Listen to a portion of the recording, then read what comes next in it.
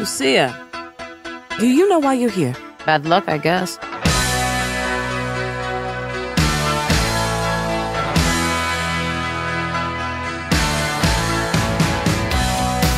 There was a girl I knew. She said she cared about me. She tried to make my world the way she thought it should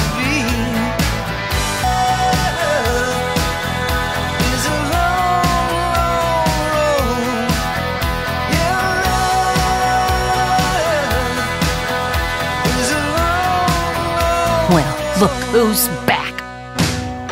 The only way we're gonna get through this is by sticking together, being a team.